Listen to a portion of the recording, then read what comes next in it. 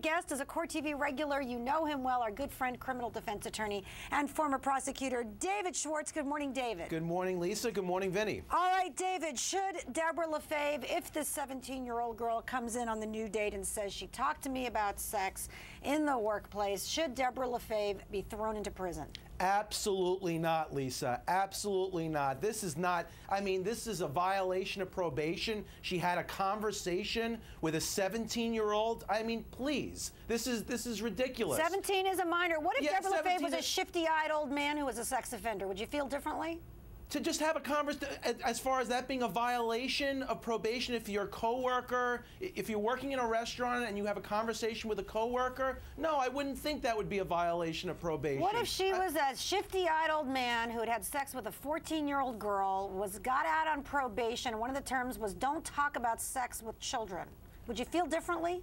Well, I mean, technically, that could be if that's if that's a condition of probation. We all know it is. Technically, That's it one of could, her It could conditions. it could be a violation. And yes, there is a double standard. And and um, I just uh, you know it's it's it's been my position all along that the impact on this particular victim is a lot less than it, if it was a 14 year old Well, girl. let's go to Dr. Jeffrey Gardere on I that. know he then. disagrees with Dr. me. Jeff, is it different if a little boy is sexually abused versus a little girl? Uh, there is a difference, but I wouldn't say that a boy being a victim is uh, has less impact on his life than a girl being a victim. The fact is, as you said it, Lisa, they have warped ideas about se- the boys uh, who go through this have warped ideas about sexuality. They don't relate in a, uh healthy manner to females, and they will have issues in their marriages later on. Uh, David is a friend of mine, and we just do not see eye to eye on this thing. I think Debbie LaFave was given a big break by getting house arrest instead of going to jail, and because of that, now they are being very, very tough on her. Uh, having conversations with a 16-year-old, a 15-year-old, I don't care if it's if it's someone who's a minor. Uh, even though we're talking about two women here, it's inappropriate. I wouldn't, uh, even if there was a woman who was not a sex offender, having those sorts of conversations with a 17-year-old, talking about their boyfriends and sex and so on. I, my question would be, who are you to have these conversations without my permission? What is it that you're telling this person as an adult? And we're talking about a sex offender here. So I think there are risks uh, and risk factors. Her lawyer once said that Deborah LaFave was too pretty for prison. And after cutting a deal, LaFave avoided jail time. Instead, she received house arrest and probation. So today's question of the day is Do good looking people get treated differently by society? Please send us your answers. Just log on to courttvnews.com slash Now, part of this deal was community control, which is house arrest. David Schwartz here in New York.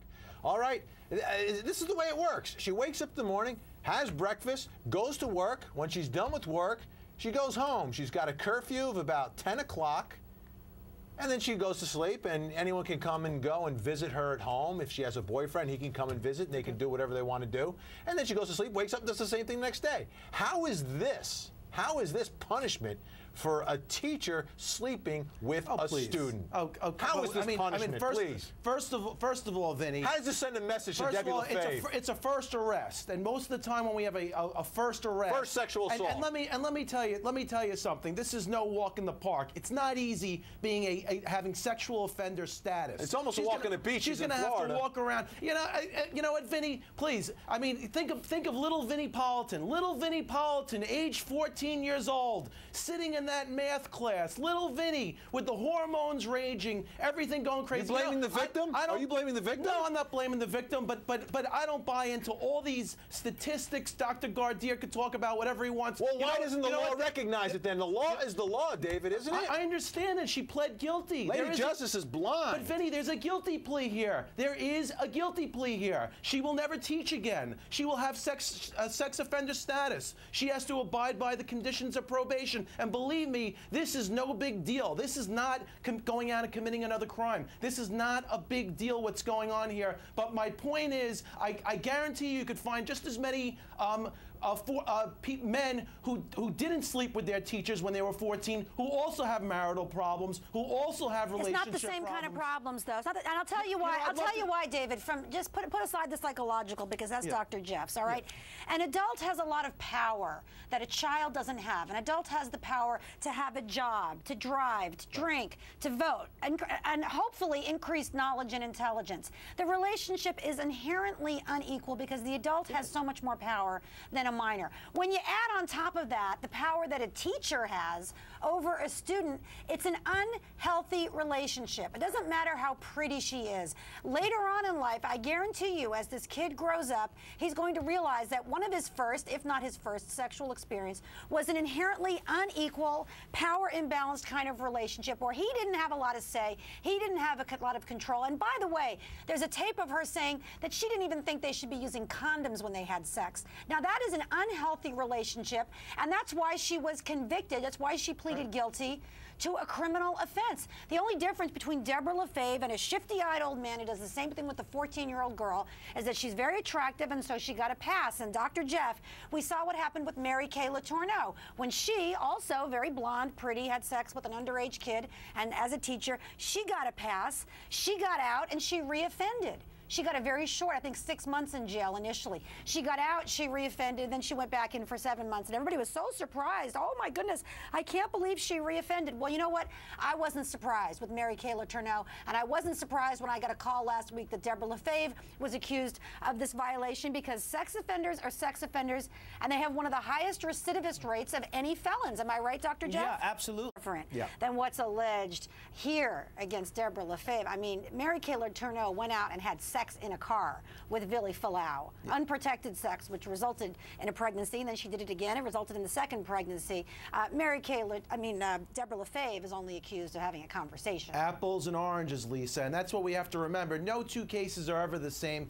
You have to compare and contrast. You heard the judge in the Letourneau case. It was an egregious violation, and clearly it was an egregious violation. She went out, had sex with the same exact victim. Who was still a minor. Uh, who was still a minor. Of course, that's that's a serious, egregious violation. Compare and contrast it to the LaFave uh, case right now, where she merely had a conversation with a coworker who's 17 years old. And guess what? We haven't had the hearing yet. Right. We don't know what what took place during that Right. conversation. The attorney has stated that he was going to he's going to vigorously defend that that that case. Yeah, and the So- 17 year old may come in and say this didn't happen. Didn't happen. Or So- it's all being blown out of proportion. I said something and she, you know, walked away. I mean, who knows? We don't know yet, and that's true. And she is innocent until proven guilty. But David, the idea of community control. Yeah. Let's talk about that because it's effectively like being in prison. It's basically saying to Deborah LaFave, look, we're giving you an opportunity.